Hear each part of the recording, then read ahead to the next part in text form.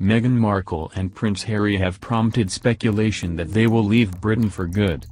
While the new parents have their fair share of supporters, they have also been met with a huge wave of criticism ever since their royal wedding this year, a fact which royal experts believe might push the royal family away from royal life altogether. Royal commentator Richard Fitzwilliams told Express that they may follow in the footsteps of the Duke's mother, Princess Diana. I think it is worth remembering that Diana's opt-out of public life was followed by her famous walk through a minefield in Angola and would undoubtedly have been followed by more amazing charitable activities. She resigned as a patron of the majority of her charities to concentrate on a few. Her future to help others seemed to have no limit save, alas, for the tragedy of her early death. Harry is devoted to her memory and he and Meghan are highly unlikely to consider the possibility of ceasing to be royals in the conventional sense.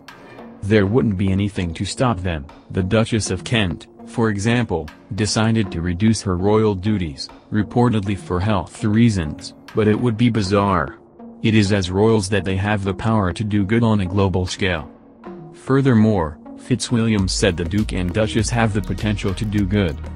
Their fondness for celebrities has become famous, Meghan was one and loves this life, but it is important to remember the good these links can do, such as the Obamas and the Invictus Games and Oprah Winfrey and mental illness.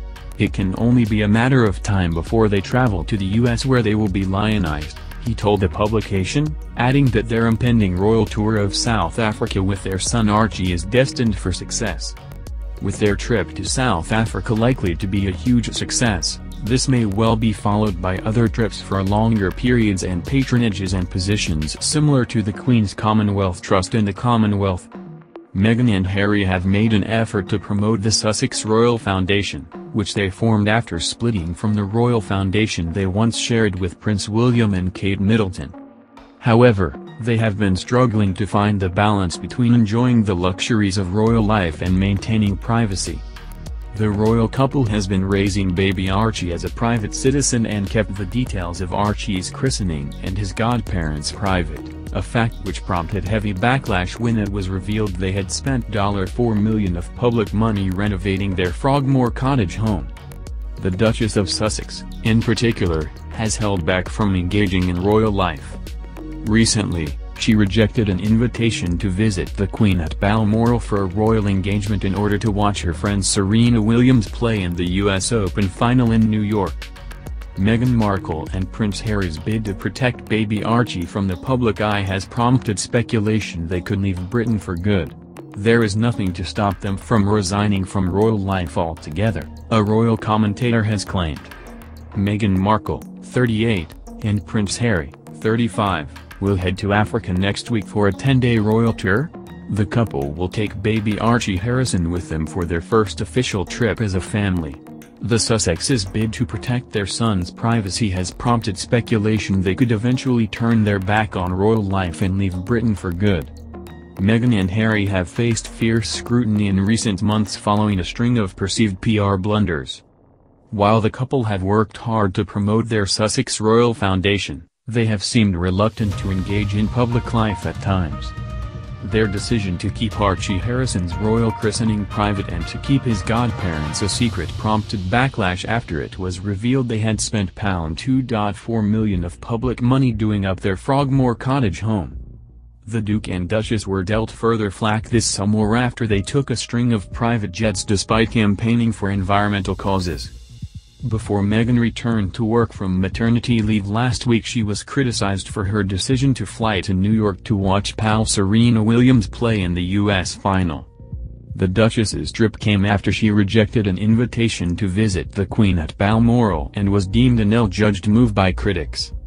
Meghan and Harry's supporters maintain the couple are a breath of fresh air but there are fears the unrelenting scrutiny they face could push them away from royal life. Before her tragic death Harry's mother Princess Diana experienced a similar level of scrutiny and eventually resigned from her royal role. If Meghan and Harry chose to follow in Diana's footsteps and ditch royal life there would be nothing to prevent them, one royal commentator has claimed. Royal expert Richard Fitzwilliams told Express.co.uk, I think it is worth remembering that Diana's opt-out of public life was followed by her famous walk through a minefield in Angola and would undoubtedly have been followed by more amazing charitable activities. She resigned as a patron of the majority of her charities to concentrate on a few.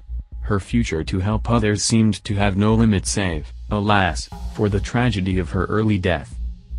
Harry is devoted to her memory and he and Meghan are highly unlikely to consider the possibility of ceasing to be royals in the conventional sense. There wouldn't be anything to stop them, the Duchess of Kent, for example, decided to reduce her royal duties, reportedly for health reasons, but it would be bizarre. It is as royals that they have the power to do good on a global scale. Mr. Fitzwilliams added Meghan and Harry's global appeal and celebrity connections give them huge power to do good.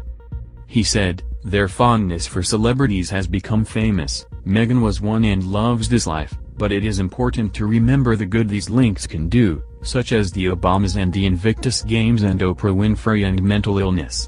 It can only be a matter of time before they travel to the US where they will be lionized.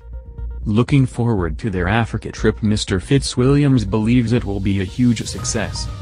He said, with their trip to South Africa likely to be a huge success, this may well be followed by other trips for longer periods and patronages and positions similar to the Queen's Commonwealth Trust and the Commonwealth